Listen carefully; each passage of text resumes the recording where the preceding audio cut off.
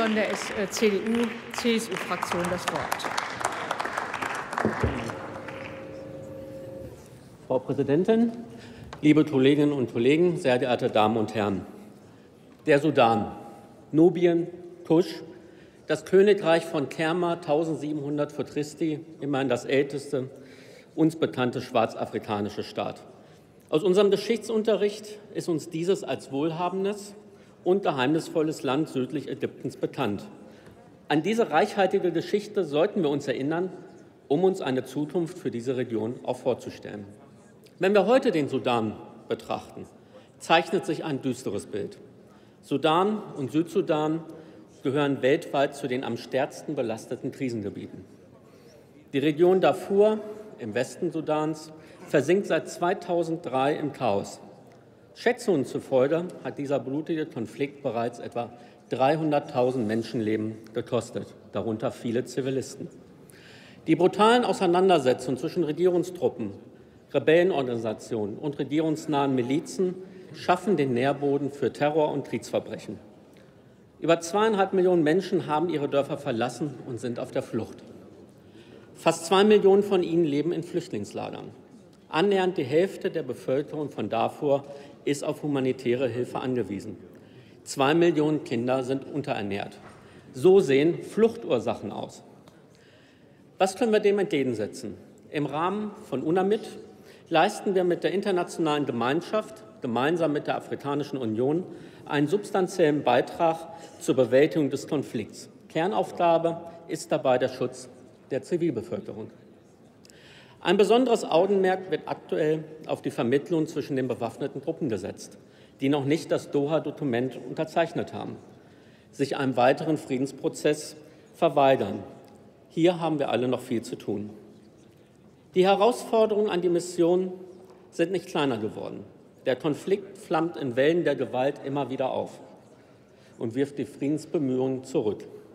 Über 200 Peacekeeper haben seit Beginn der Mission im Einsatz ihr Leben verloren.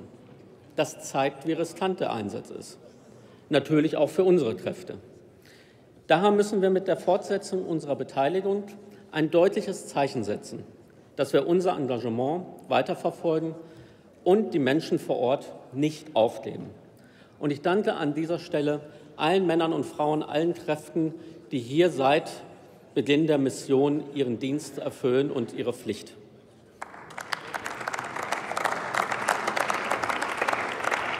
Wir setzen im Rahmen der Mission auf eine verstärkte Zusammenarbeit zwischen militärischen, polizeilichen und zivilen Komponenten. Dieser vernetzte Ansatz ist in meinen Augen ein wichtiges Kennzeichen unserer Außenpolitik. Wir sind weiterhin bereit, Verantwortung, wo notwendig, zu tragen. Deshalb ist unsere weitere Beteiligung an UNAMID richtig. Wir sind die Einzigen, wir sind die letzten Europäer in Darfur.